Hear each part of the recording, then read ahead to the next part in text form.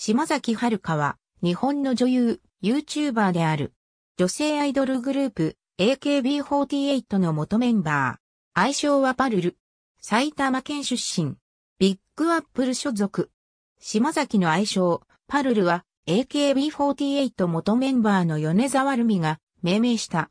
また、はるかという名前には、はるか彼方まで良い香りが広がるようにとの意味が込められている。いつでもどこでも寝ることができる。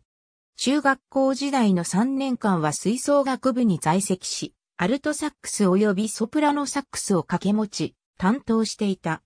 このためサックスの演奏に長けている、他にフルート、トランペット、ピアノなども特技で書いてあるが、どちらもそんな上手ではない。フルート、トランペットは音階くらいしかできないと本人は語っている。ピアノについても幼少期に習っていたが全然できないと語っている。なお、過去この記事内において、特技にサックス等の演奏と書かれていたことについて、恥ずかしいから消してほしい、と語っている。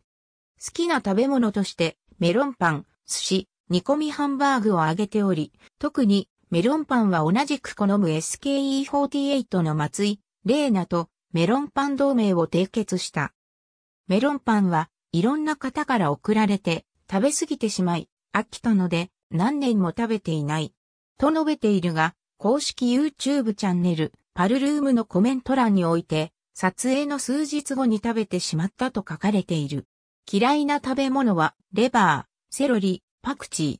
ー。インドア派であり、季節を問わず室内にいることを好み、理想のデートに関する質問に対しても映画館など室内で過ごしたいと答えている。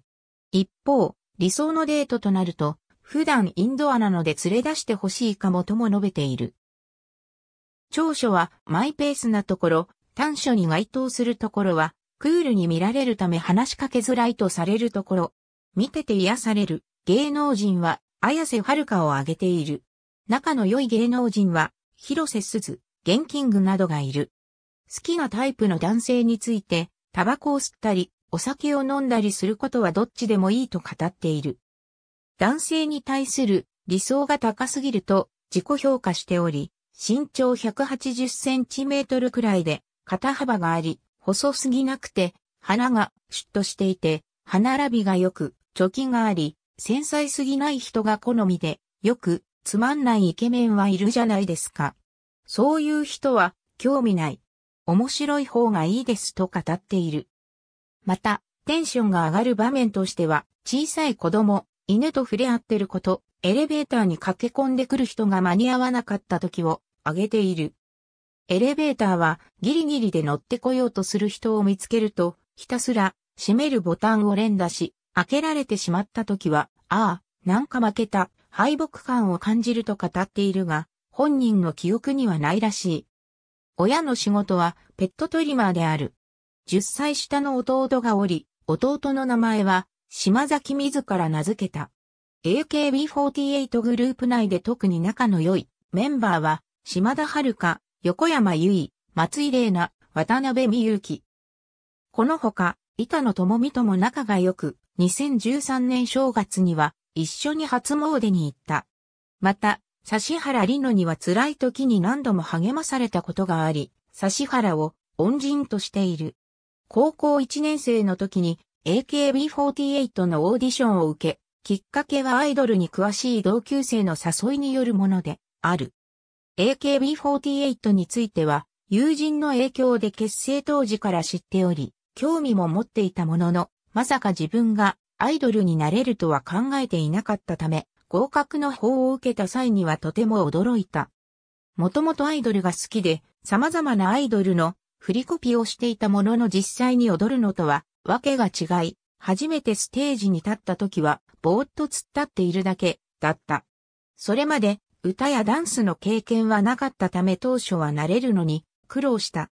AKB48 に入って一番苦労したことは、学業との両立であったが、仕事で遅くなった日でも高校は、絶対に休まないと決めていた。握手会では、そっけない態度をとってしまい、塩対応と言われていた。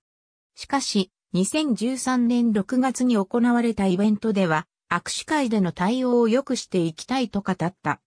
AKB48 劇場支配人の戸ヶ崎、俊信も今日からパルルが減塩対応で握手を始めたらしいですよ。つまり、笑顔で塩対応じゃないと島崎の対応の変化について語っている。